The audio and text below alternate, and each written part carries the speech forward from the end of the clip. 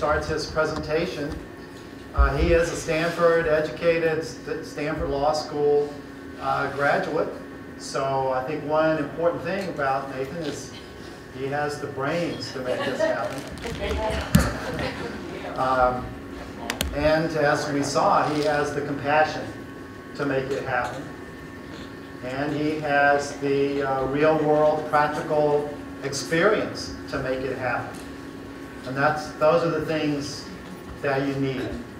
Many of us maybe have uh, one or two of those uh, characteristics, maybe not all three. So, so I am, and all of us I'm sure are glad that he can be here. He started uh, this fight while he was still in law school. He was on the board of the San Francisco ASPCA. Uh, uh, on the campus of Stanford, they had a big problem with feral cats, and Nathan got involved with that fight, won it, and uh, today there is still a cat organization at Stanford called the Stanford Cat Network, and it's uh, you know publicly known for a very successful trap neuter return program that really got an out of control situation under control. So right from that uh, very humble beginning, uh, he started, and uh, from there, you know, we saw that he worked at uh, Tompkins County SPCA, which is near Ithaca, New York. I also worked uh, with HSUS and ASPCA to get them to reform some of those policies, make them a little more uh, no-kill, which is a very big deal. And uh, mahalo, brother, for that. Um, he, uh, after he worked at Tompkins, he left Tompkins, and that's when he founded the No Kill Advocacy Center. That was in 2004. So that was sort of time equals zero, uh, as we say. Um, and from there, uh, the, the latest that I read is that as of today, over 40 million people live in towns and cities which are no-kill towns and cities. So it's grown from one center to a couple hundred and 40 million people, which is a lot of people, but it's still 12% of uh, people in the nation, so still a ways to go. And the last thing I'll say is that um, Nathan has been to Kauai before, I know this, rumor has it, and that he uh, adopted at least one rescue animal from here, which became a pet. So that is great. Thanks for the connection.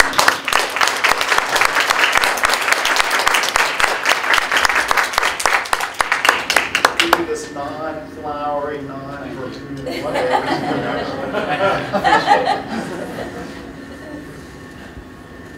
so, uh, this is the third time that I, have been to Kauai.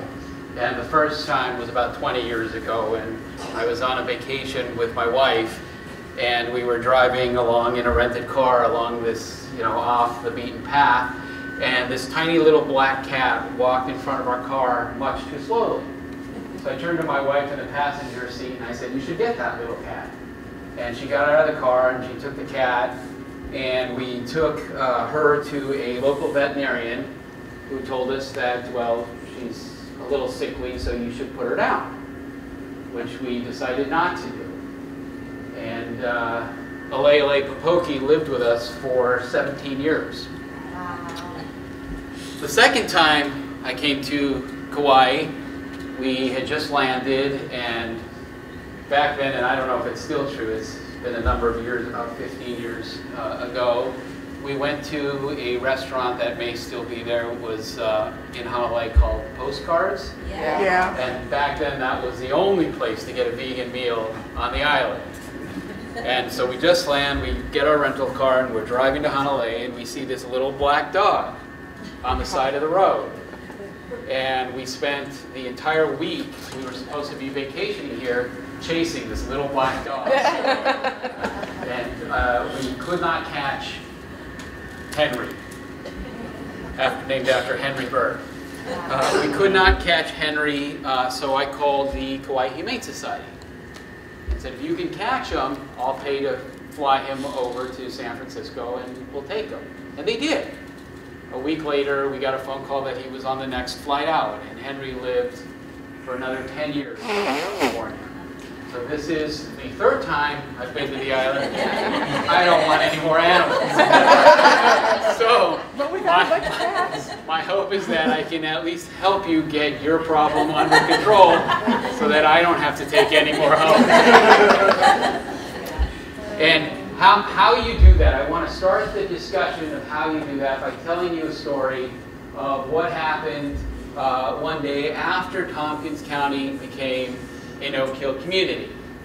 So one morning, a woman brought in a stray cat that she had found. And she explained to me how this was the first time she had ever brought a cat to the Humane Society. Like your Humane Society, we were the Animal Control Authority under contract. And she explained how in the past, whenever she came across an animal, a cat, that needed help, she ended up taking the animal home. And she explained how she often felt overwhelmed by the number of animals that she had to care for.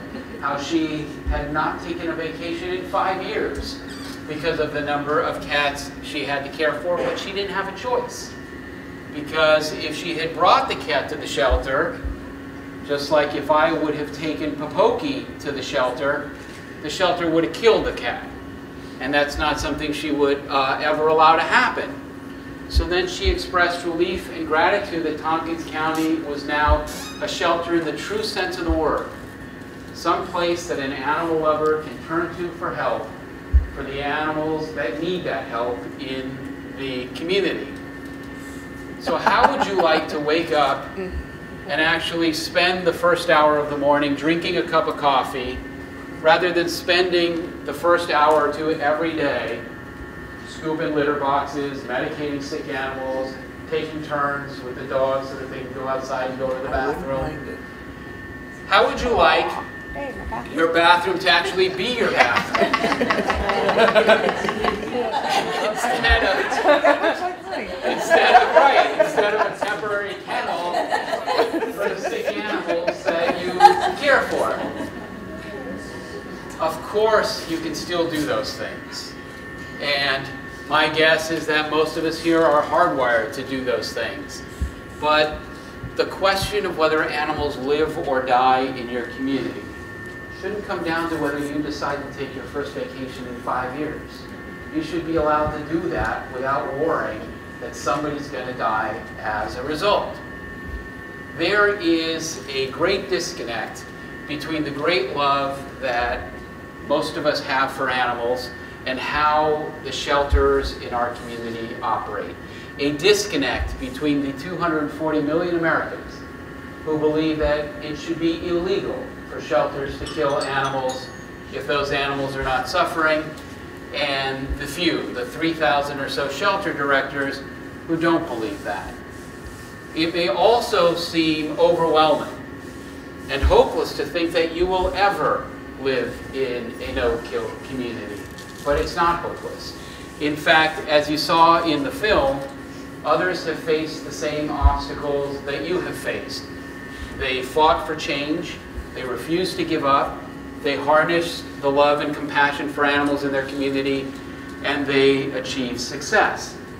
But they did not achieve success the way we've been taught to express our love for animals in this country.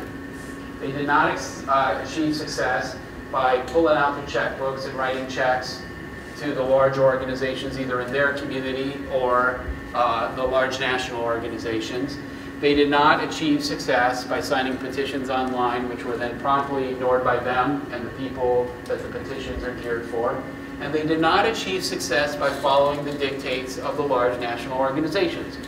For how far they've come, and some of them have come very, very far from uh, when I first started 25 plus years ago. But the fact still remains that there is not a single no-kill community in the United States that achieve no-kill by following the dictates or with the help of the large national organizations. Instead, our success as a movement is the result of individuals. Sometimes it's the result of small groups grassroots activists like yourself. They did it, and so can you. Uh, in fact, more than any time since the death of the great, the late great Henry Bergh, our country is closer today to living up to his legacy than ever. More cats are being saved in shelters across the country than being killed for the first time in our nation's history. Nationally, almost 8 out of 10 dogs are being saved in shelters across the country on average. Killing is down to 2.6 million, and I realize that is a large number, but it's almost 90, a 90% decline from uh, where it was 30 years ago, so it's at its lowest level. About 40 million Americans, if you go back, say, uh, two decades, three decades, these numbers would have been zero. Today, about 40 million people live in communities where the shelters are saving at least 80% of the animals. 10 million people live in communities where the shelter is saving at least 9 out of 10 of the animals. And there are about 1 million Americans who live in communities where the shelter is saving at least 98% of dogs and cats in their shelters. Two decades ago, no kill was a dream.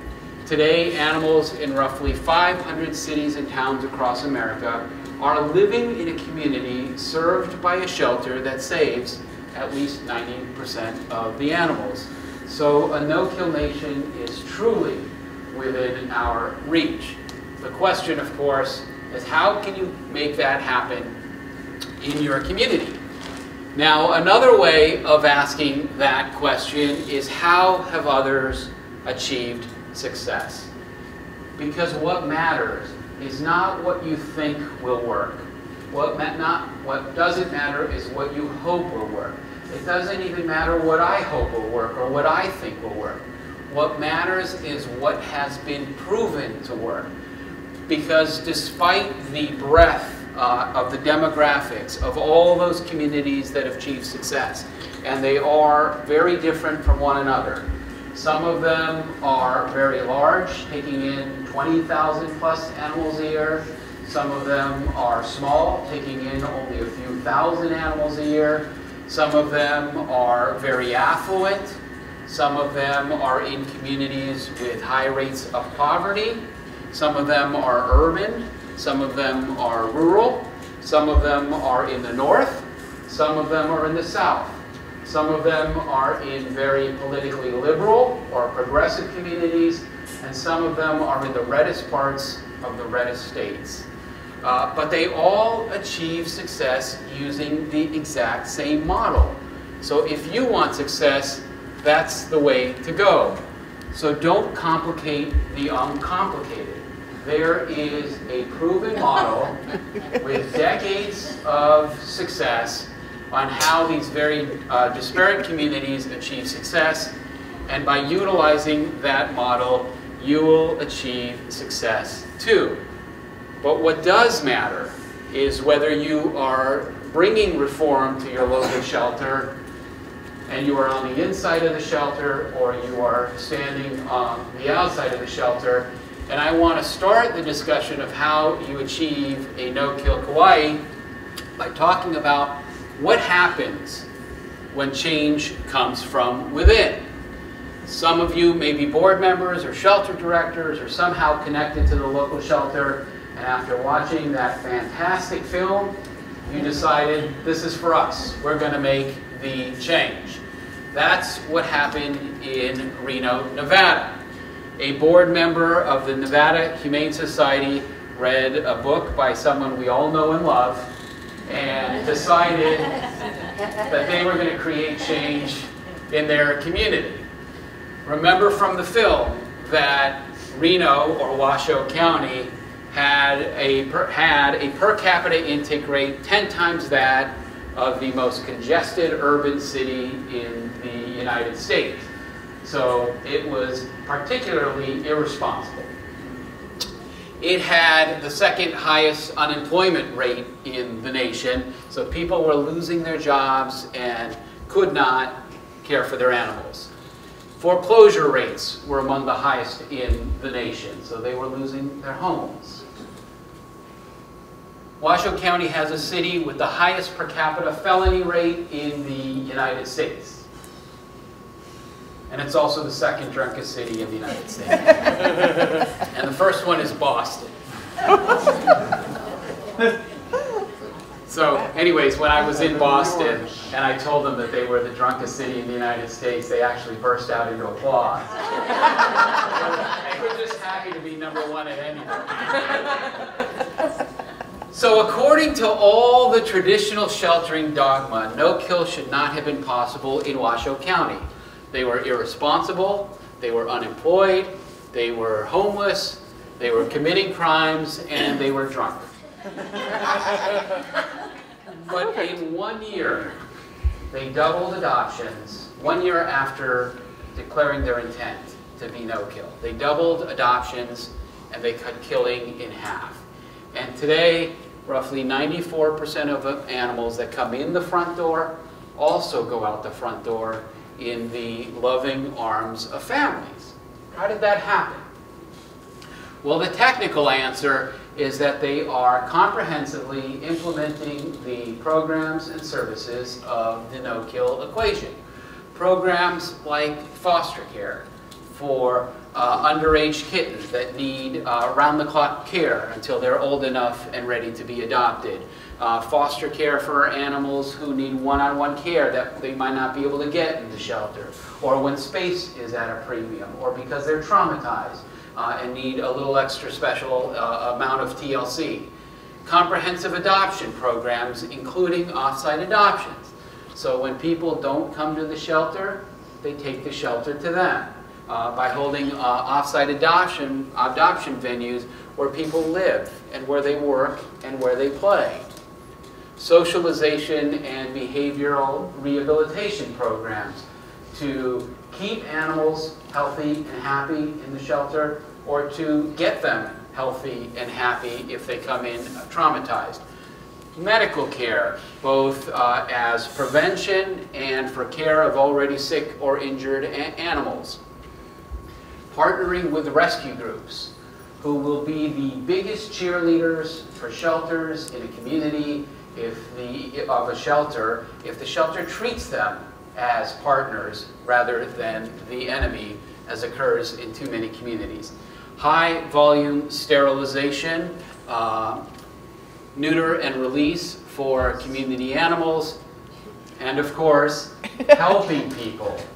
Oh, no. Helping people overcome the behavioral or medical or environmental conditions uh, or challenges that they may face uh, when living with creatures, uh, other creatures uh, on this planet. So pet retention programs. So for example, in most communities, if you were to call the local shelter and say, I want to surrender my animal, what do I need to do? Uh, the person on the other end of the line, if you can get them to answer the phone, uh, will tell you how you can surrender your dog or cat. Uh, in Washoe County, they ask you what's wrong. And if there's anything they can do to help you resolve whatever challenge or issue you're facing in order to help you keep that animal. Now, not everyone is going to take you up on that offer, but of those who did, of those who said, here's my problem, what can you do to help me, 59% of those people ended up keeping the animal rather than surrendering the animal to the shelter, and the animal was still in the home one year later. Proactive redemptions. So if you were to drive around in a community and come across a stray dog in a neighborhood, what would you do? Well, most of us would knock on the nearest door and say, do you know this dog and do you, or do you know where this dog lives? Is it too much to ask the people we pay to pick up stray animals to do the same thing, to do the kinds of things you or I would do for free? That's what they do in communities like Washoe County. They knock on doors. They try, they scan the animal for a microchip in the field. They do anything they can to try to get the animal back home. And in one year alone, they were able to leave 6,000 animals in their homes in the field rather than bringing those animals back to the shelter where they would compete uh, for scarce cage and kennel space with relinquished uh, animals. And communities that do that, that are proactive in terms of trying to get animals home, actually can uh, triple the percentage of dogs, stray dogs, who go who are redeemed by their families, and for cats can increase 10 to 20 fold the percentage of cats that go back home uh, rather than end up at the shelter where they get lost in the system and then killed. Marketing and public relations. All programs and services that you can learn about for free on guides available on the No Kill Advocacy Center's website at nokilladvocacycenter.org. So you don't have to recreate the wheel. That's the technical answer of how they achieved a 94% save rate. How did it change so quickly? How did this community with high rates of intake, with all kinds of social problems, how did they cut killing in half and double adoptions uh, and achieve 90 plus percent save rates so quickly? The answer to that question is leadership. And I want to share with you what leadership looks like in the shelter. So uh, at one point, the roads department, the Department of Transportation in Washoe County, decided that it was going to do road work in front of the shelter. And so as not to disturb the all-important commute traffic Monday through Friday with people going to and from work, they decided that they were going to do the road work on the weekend. So close access to the shelter on the weekend so as not to disturb the commute traffic. What is the problem with that? For those of you who do uh, rescue, what is the biggest adoption day of the week? Weekends. Saturday. Saturday is your biggest adoption uh, day of the week. And so the work, uh, the road work on the shelter that would have cut off or limited access to the shelter would have been detrimental to the number of adoptions that the shelters were able to do uh, and the shelter was packed with animals. So if you were the shelter's director, what would you do? Would Take you throw up your hands and say, well, it's the roads department, they're closing access to the shelter, there's nothing I can do? That, in Take it to fact, is what most shelter directors would do. Most shelter directors uh, run their job entirely passive. And what I mean by passive is they open the doors in the morning, they close the doors at the end of the day, they tally the number of animals that come in, they tally the number of animals that go out. If more animals come in than go out, they execute the remainder. That's how shelters are largely run in the United States. To succeed, you need to be proactive. You actually have to do your job. And that job means finding solutions to the challenges that you face. So what the shelter did in this circumstance is they took the animals outside in kennels and cages in the parking lot, and they had volunteers uh, dress, they convinced the roads department to stagger the workflow so that traffic could be uh, open to the shelter. If you look in the back, you will see somebody, and they are dressed up in a little dog costume telling people to adopt today. The party supply store was out of cat costumes, so they got a tiger costume. That's close enough Tiger cat. They uh, convinced the roads department and the construction company to pay for an ad in the paper asking people to come down and adopt an animal uh, despite the road work. They uh, announced that they were going to waive adoption fees that weekend with a Pardon Our Dust adoption event. Oh. And what happened? What happened was they increased adoptions over a typical weekend by 130%. Wow. So more animals were adopted that weekend than a normal weekend. What happened was, even though they waived adoption fees, everybody who came down to adopt their free animal was asked for a donation, and the average donation that weekend was higher than their standard adoption fee. So So they were able to receive thousands of extra dollars than they would have had in a typical weekend. So you have to say to yourself, thank God they closed the road. because it allowed the shelter to double adoptions and make thousands of extra dollars that they can then use to help additional animals in need. Leaders don't throw up their hands and say, there's nothing I can do. If I can't do this one thing, kill him, then there's nothing else I can think of. When life gives them lemons, and in this case, when a hoarder gave the shelter a lot of orange cats, Oh. they didn't kill the cats and blame the hoarder, even though there's plenty of blame that you can give the hoarder. They did good things for animals, they told people about it, and they asked for their help. They turned challenges into opportunities by giving the community an opportunity to help through the Great Orange Cat Rescue. So those little overstimulation biting cats, you know, the kind that you pet for two seconds and then will whack you, the cranky little chihuahuas, they're not killed in Reno, Nevada. They are turned into petzillas. They're cranky, they're cross, and they're ready for forever homes. Are you up for the challenge? This kind of approach also works for those run-of-the-mill black cats that most shelter directors will tell you they can't find homes for. In Reno, they're turned into mini panthers. And of course, they use every opportunity to promote their animals and find animals home. So one day a year in this country, half the spouses and partners in America ignore the other half during Super Bowl Sunday. And what better way to get back at your partner who's ignoring you than to bring in a new dog or cat into the home?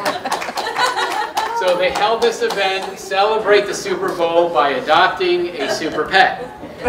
But when you do that, when you champion animals, and when you take every opportunity to save their lives, not everyone's going to be happy with that. And so when the Reno shelter ran this uh, Adopt a Super Pet, pet during the Super Bowl, they got some hate mail. They got a postcard. And the postcard said, Adopt a Super Pet. I can't believe how shameless the Humane Society is at hijacking holiday and events. You even leaked, you even leached off the Super Bowl. What's next? Adopt a pet for Arbor Day? Give me a break.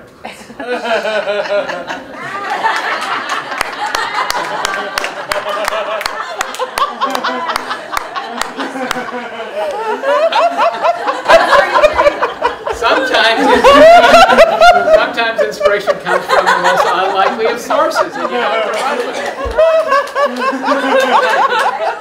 Getting a free treat on Arbor Day. So I want you to imagine you board members, or relatives of board members, or spies from the local shelter, or anybody connected to the shelter.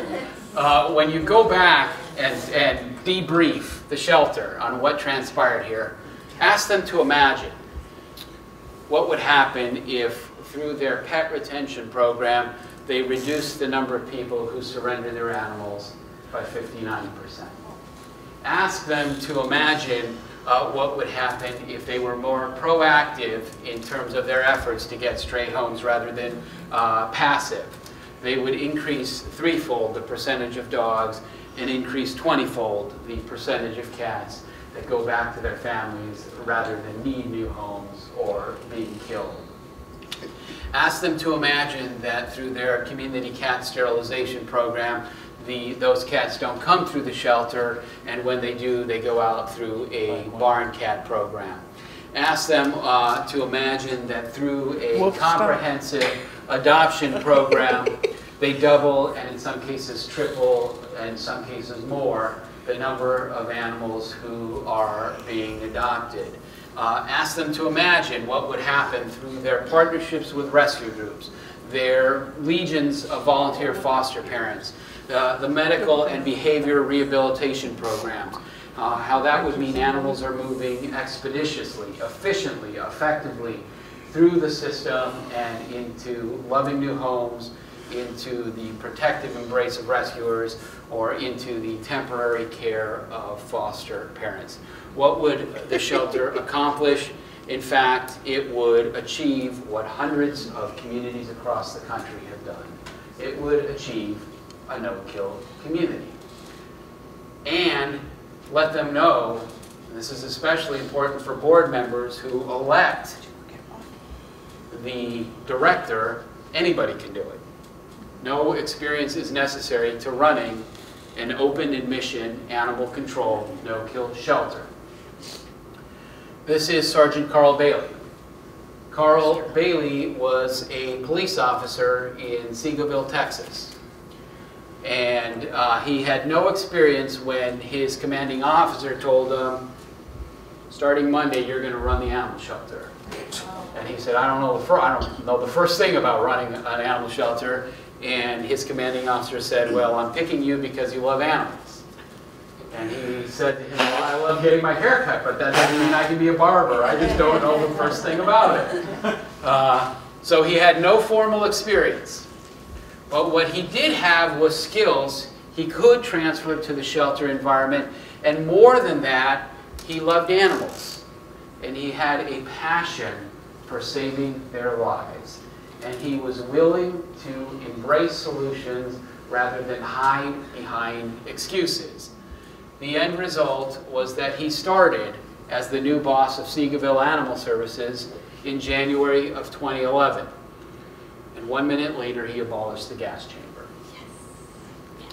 And a minute after that, he ordered the killing to come to an end. Yes. Fewer animals lost their lives his first year running that shelter than that shelter used to kill in a single week. He ended the first year with a 98% save rate, something the prior administration, the professionals, the people with years and years of experience, said was impossible.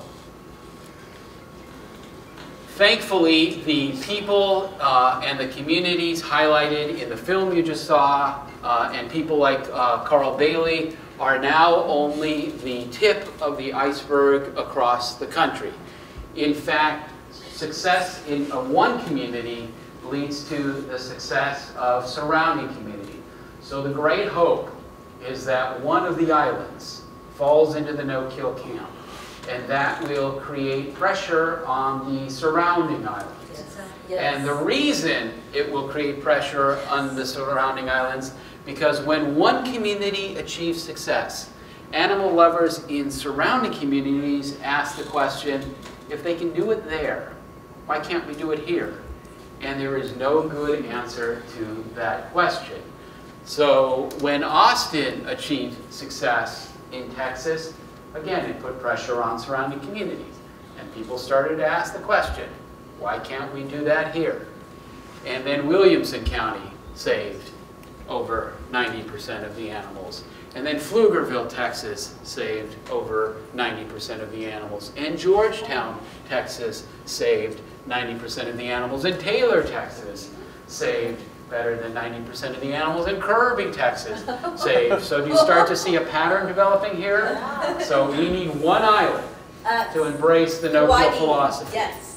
Uh, and then you'll start to see the stars on the map on the other Hawaiian islands. In fact, when the new shelter director took over the pound in Kirby, Texas, she inherited a pound with a 4% save rate.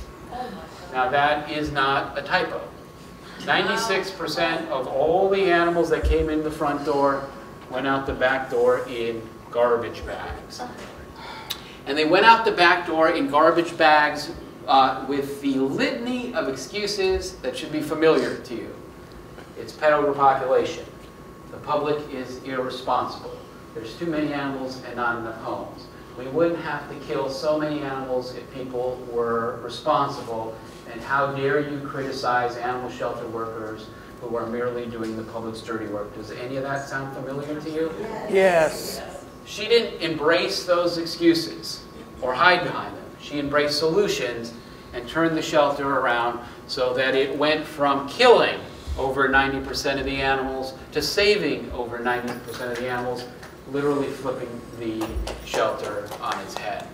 When Cheryl took over the Williamson County Texas shelter, she inherited a shelter that served all 15 towns and cities that make up Williamson County.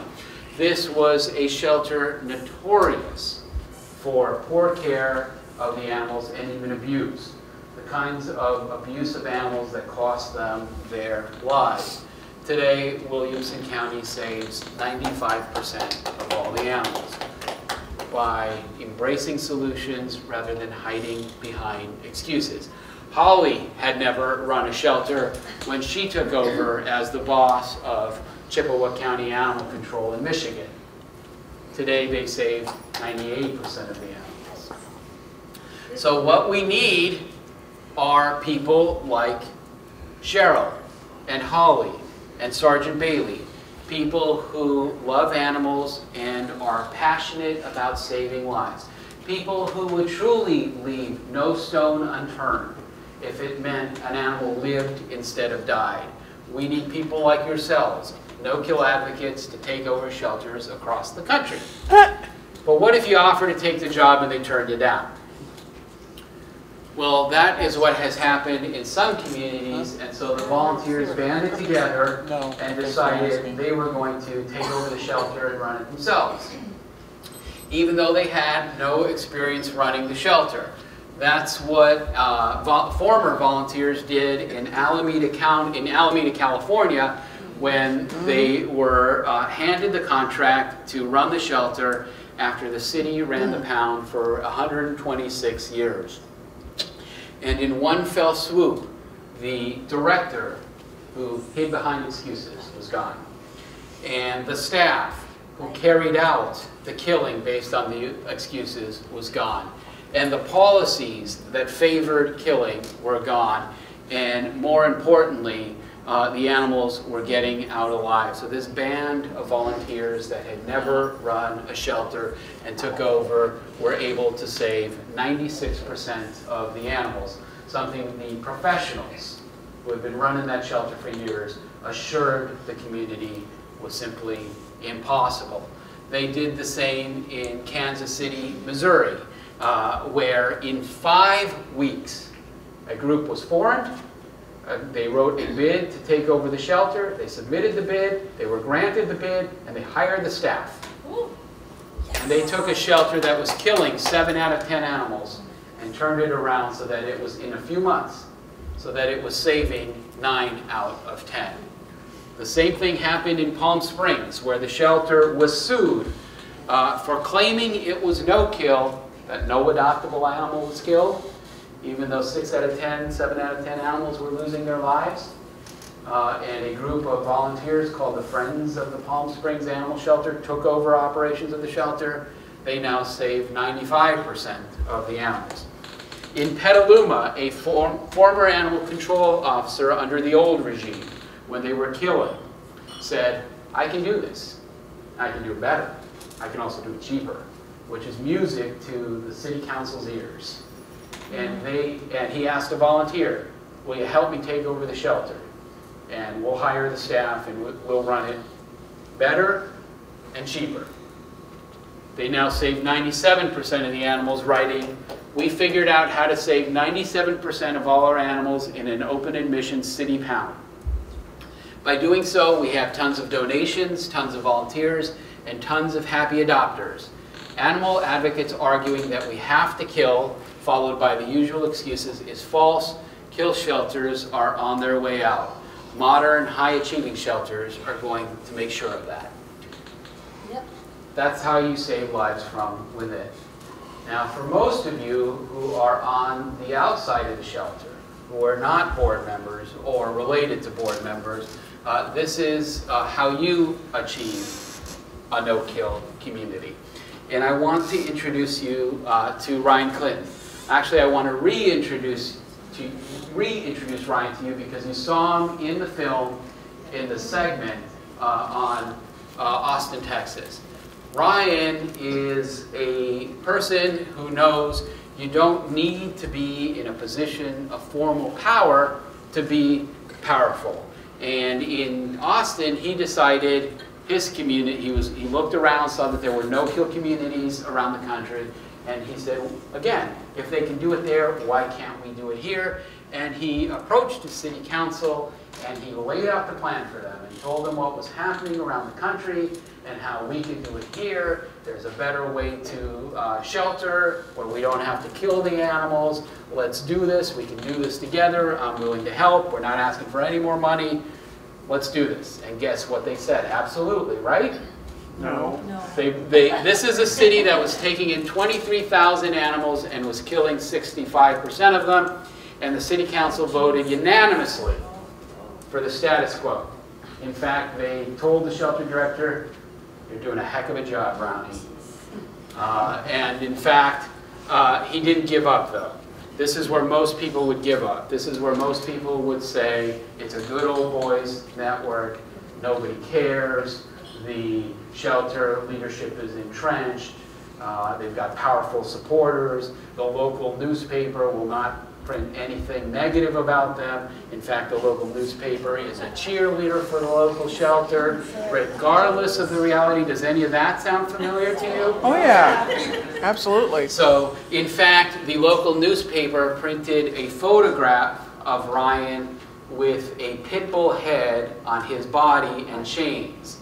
I mean, that's how much the local newspaper hated him and loved this particular shelter uh, director. But he didn't give up. He stomached the blows, uh, the criticism, uh, and uh, he didn't say nobody cares. Uh, and because he and those in his group did not give up, Austin now saves 96, 97% of all the animals. Nothing changed there in terms of the public. It's still the same public but we'll see uh, what changed. What changed was, as you saw in the film, was the shelter's director. In government, nobody gets fired. They get reassigned. So the shelter's director was promoted to park and rec. And if you are an animal lover and you're seeing this person killing so many animals in the face of life-saving alternatives, it might be difficult to swallow that this person is getting a promotion. But Yeah better that they worry about the size of the grass in the local park than have power over defenseless animals. So, uh, you That's know, true. good riddance and good luck. And, but for your purposes, what Ryan did was create a step-by-step guide, a replicable model of smart political advocacy that will help you get through the entrenchment of the local bureaucracy, the local city uh, government, the local newspaper that favors a dysfunctional shelter over the values of its citizens, uh, and allow you to do for Kauai what he did and his group did. He didn't do it alone uh, in Austin, Texas, and in the process proving that the excuse that nobody cares is just that.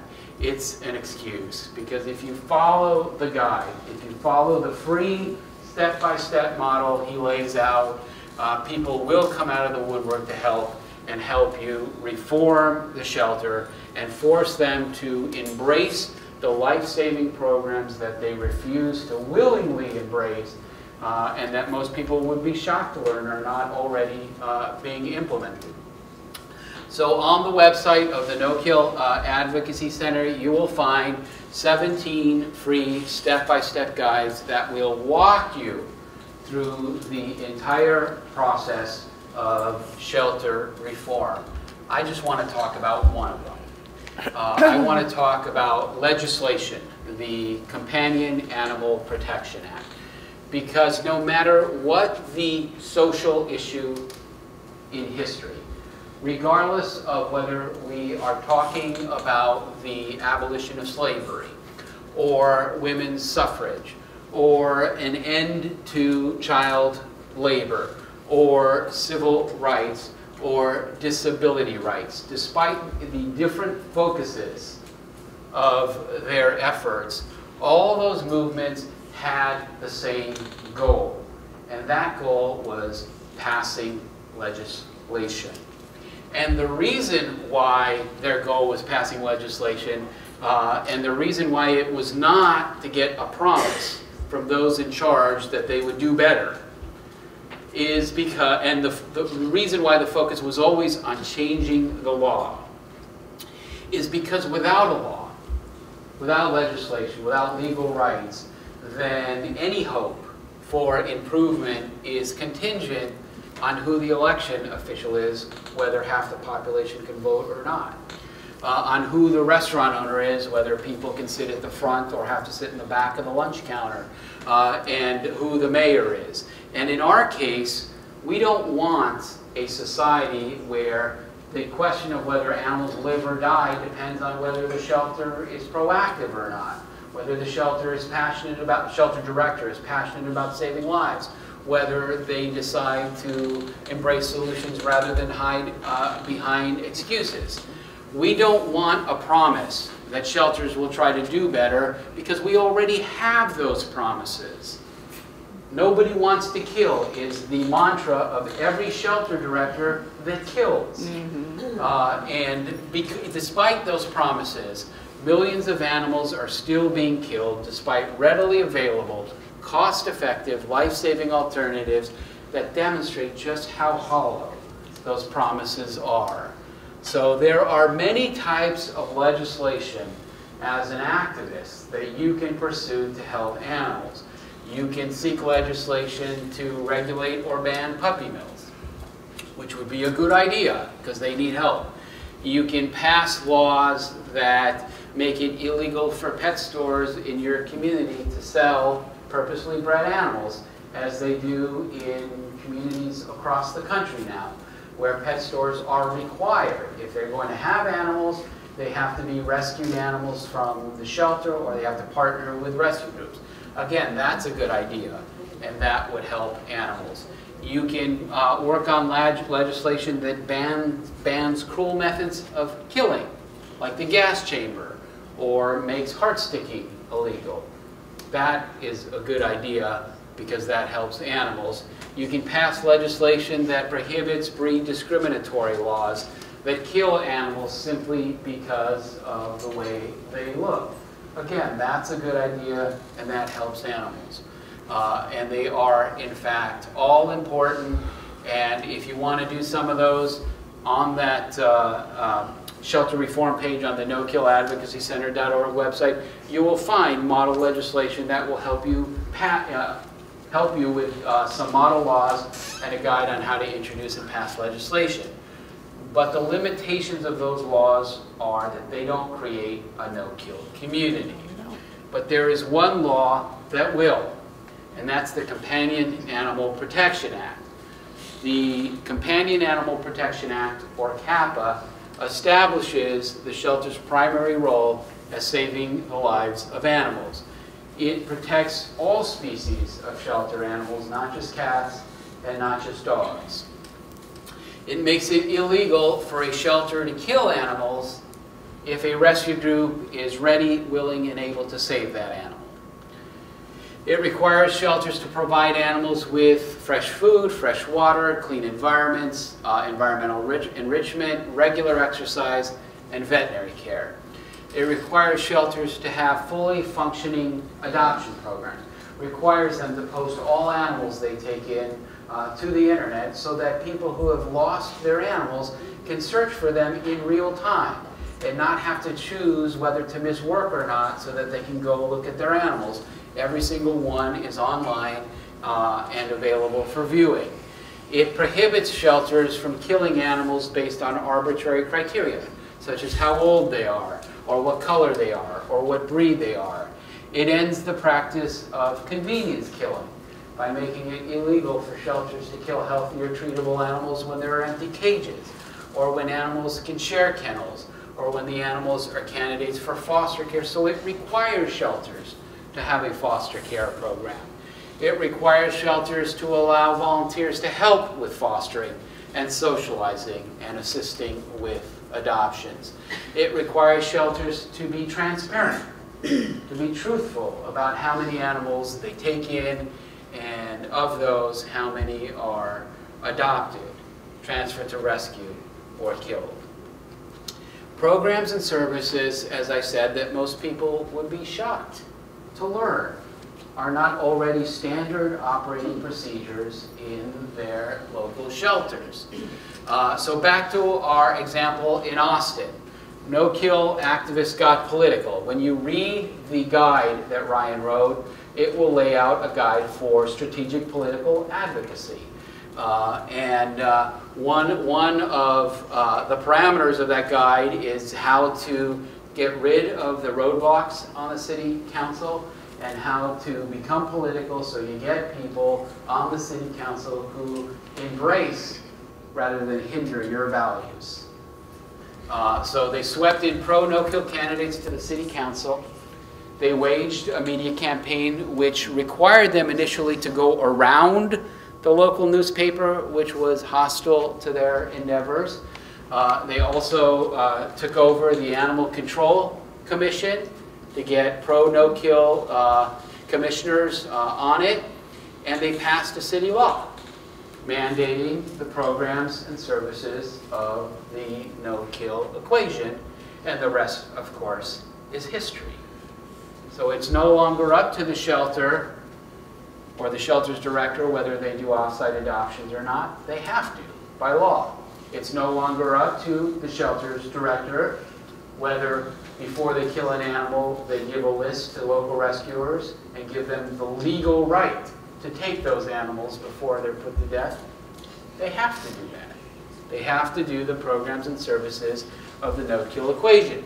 As you saw in the film, there was, with that recreation of that young rescuer in Southern California, that was part of testimony that the California State Senate heard when it was seeking legislation to ban the practice. How shelter directors were vindictive, how they would get back at uh, rescuers for exercising their First Amendment right to petition the government for a redress of grievances. Uh, by holding the animals they wanted to save hostage and by killing animals as retribution when they went forward and exercised those First Amendment rights. So uh, as you saw in that recreation, there was a time when shelter directors could kill animals even though there were qualified rescuers who were willing to save those animals. Uh, a time when shelter directors could make uh, uh, rescuers choose one kid and then told them that they were going to kill the rest as retribution. That still happens in other states. In New York, for example, 72% of rescue groups reported their local shelter turning them away and then killing the very animals they offered to save. In that survey, one rescuer reported that when they picked a dog, the shelter's director actually grabbed the dog, marched, it, marched the dog right by them, and into the back room to be killed as a show of her power. In Florida, a statewide survey found that 64% of rescue groups reported that they had been turned away by a shelter.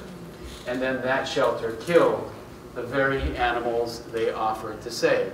Now that doesn't really happen in California, and it doesn't happen in California because in 1998, the state made it illegal for any shelter, public, municipal shelter, or private SPCA or Humane Society, whether they had the contract or not.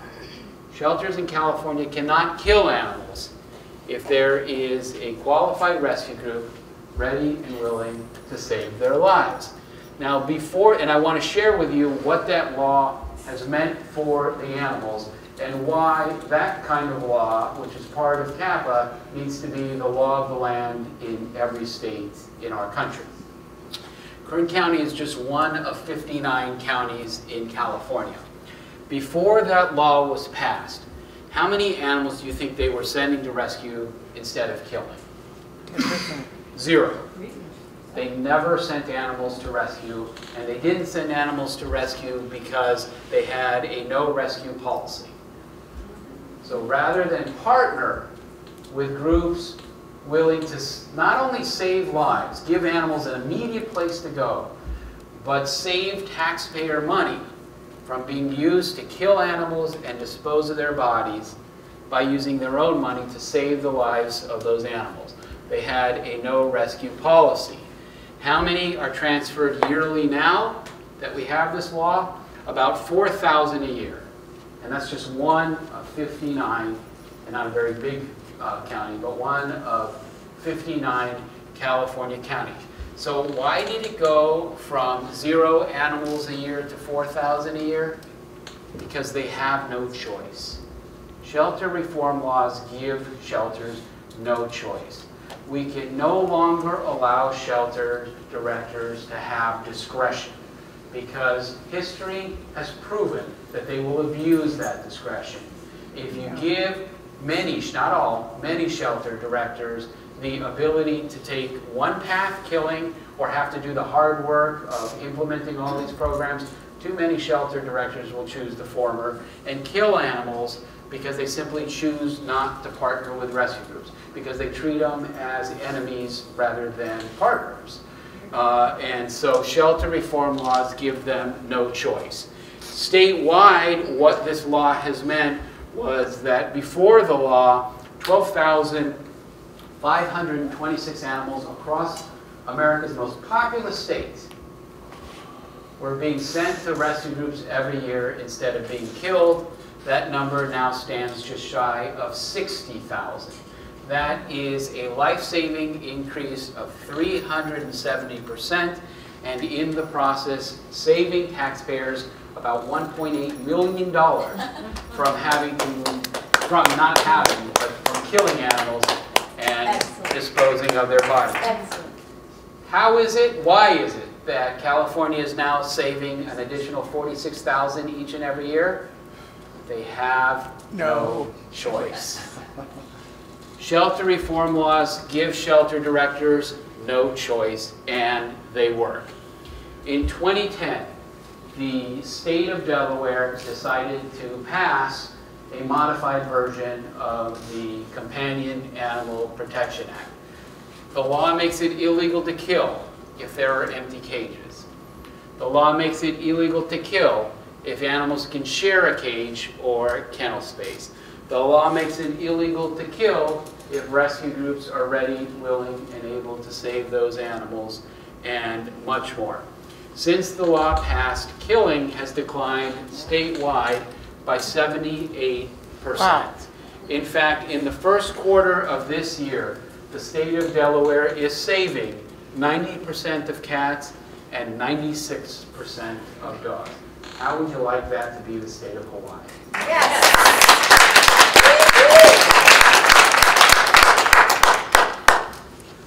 Today, an animal entering your typical animal shelter has roughly, it's improved, but roughly a one in two chance of being killed.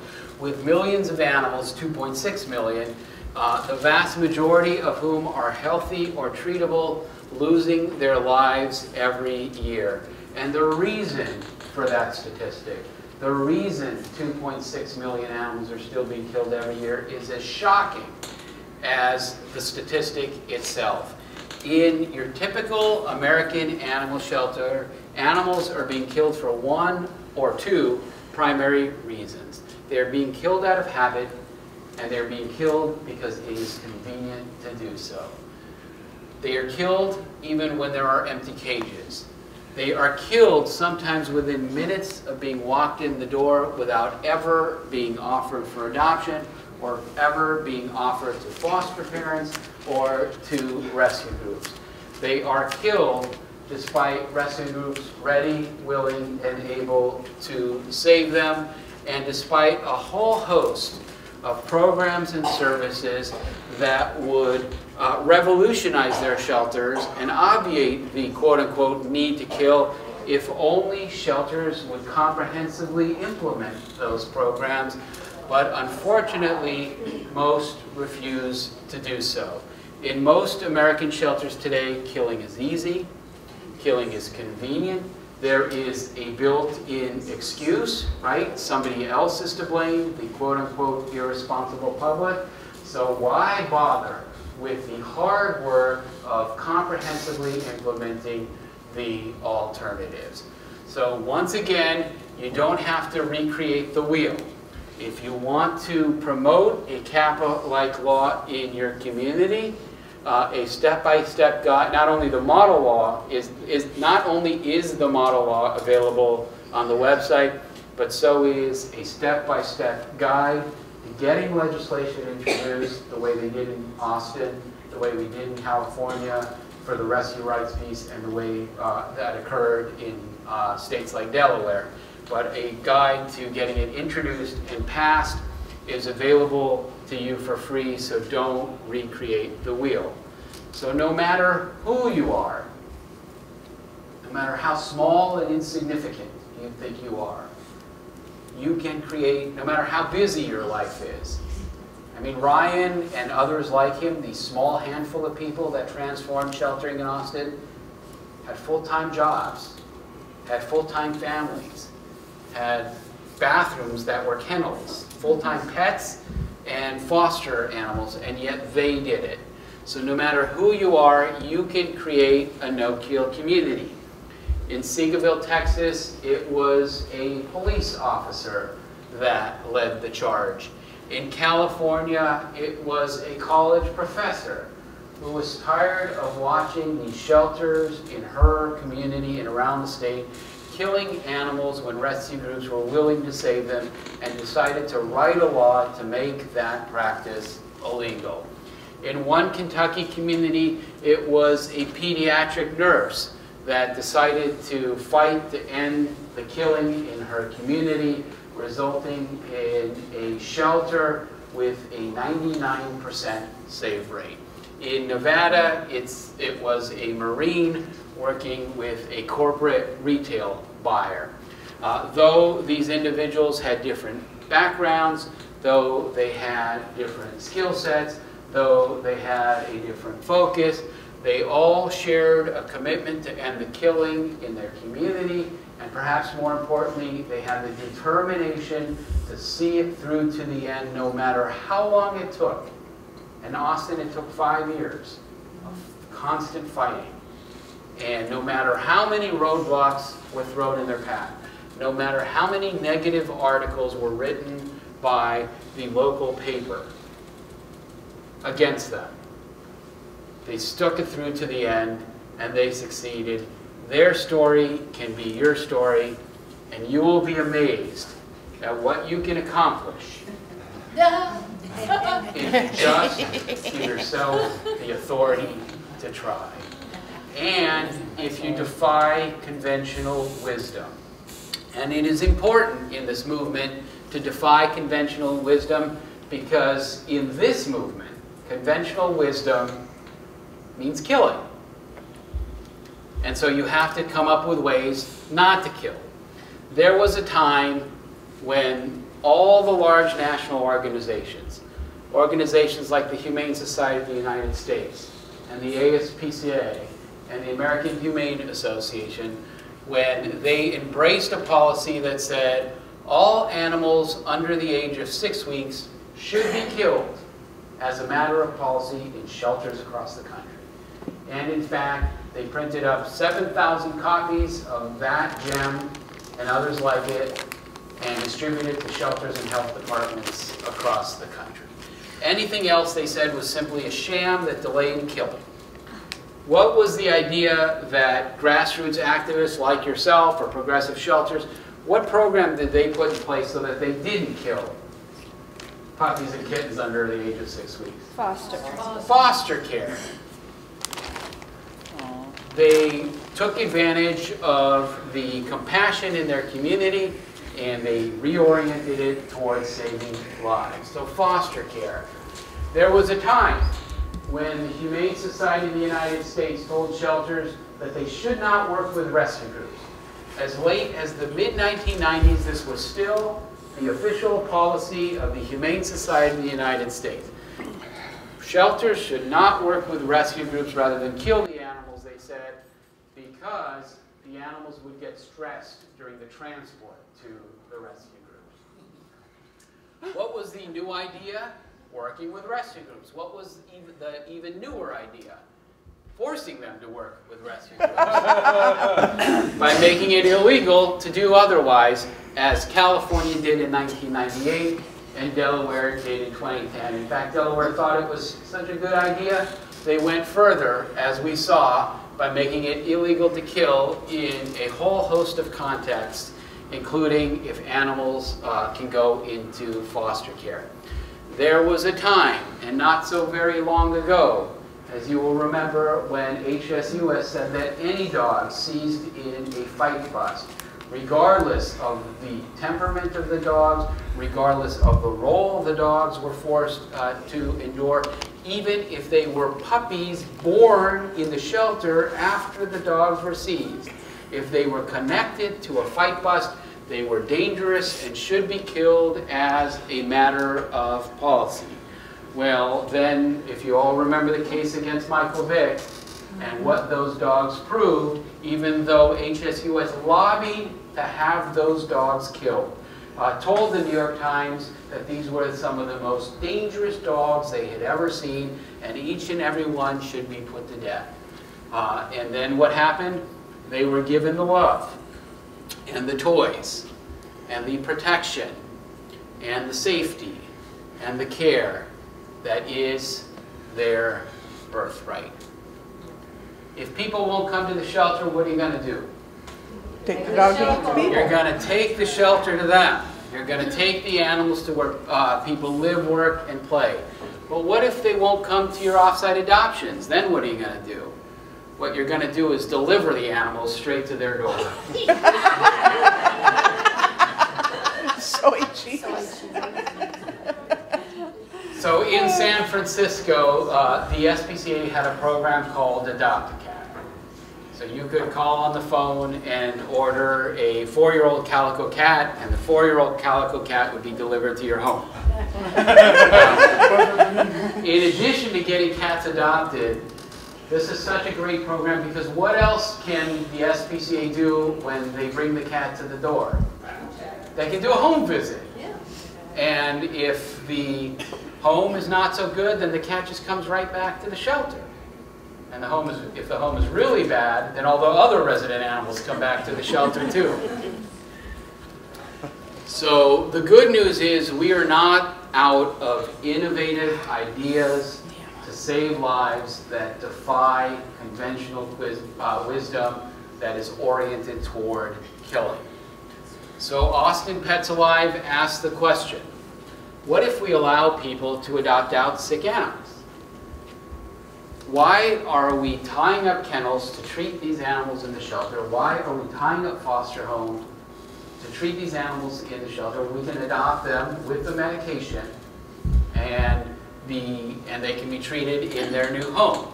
They even take sick animals to off-site adoption events uh, because what, what could be better to bond, for a new pet owner to bond with their cat than trying to shove a pill down the cat's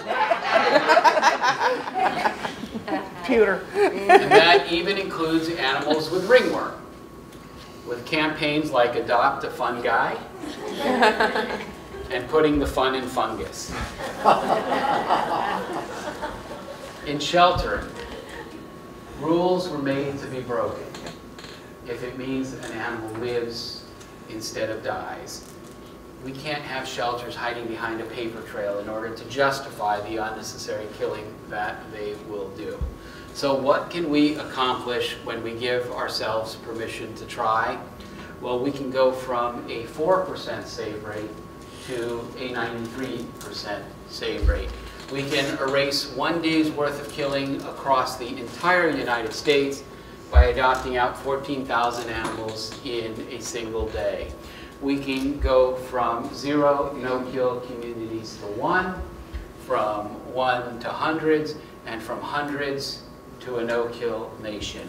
We can successfully arrive at the brighter future we are all striving for on the road that we paved that led there. For those of you who are not convinced, as shocking as this is, you will be shocked to learn that I was not always the smart, successful, and handsome. Come on, come on, and handsome, confident guy you see standing before you.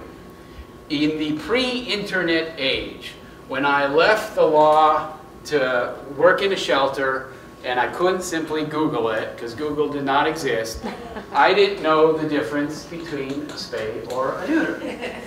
And I was too embarrassed by my own ignorance because I was the boss to oh. ask any of my staff, what is the difference? Sometimes you say space, sometimes you say neuter. What is the difference? And I was always amazed when staff could tell if a dog was male or female, and you know, just say neutered male by looking underneath. It just never occurred to me what they were looking for. So I don't blame my Los Angeles public school education for my ignorance, and I don't blame my overworked and overburdened teachers or my parents. I blame uh, myself. This is, or was, the high school I went to, and this is me in high school. Handsome guy. And this is my, the letter my parents would have received if they got to the mailbox before I did. And it says, our records indicate that Nathan Winograd has been absent for the last 10 school days.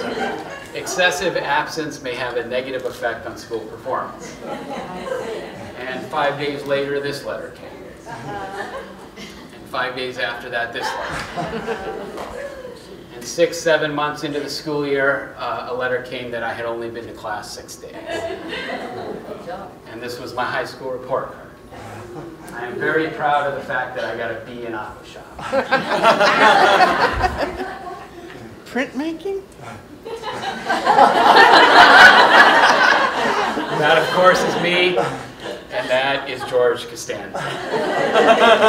So if I can do it, anybody can.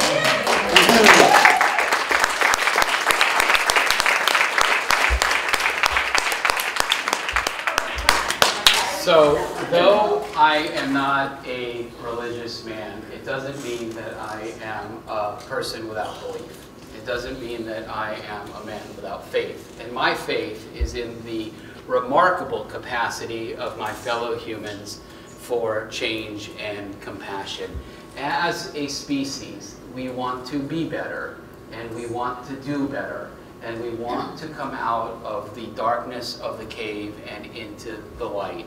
And when someone comes along that illuminates the path forward, as Henry Bergh did for us in the 19th century, as the people you saw in the film did in their communities, and as you folks are going to do for this community, history vindicates us because time and time again, we follow that person into a brighter, more noble, and more compassionate future. So at this bright new dawn, let us seize the day.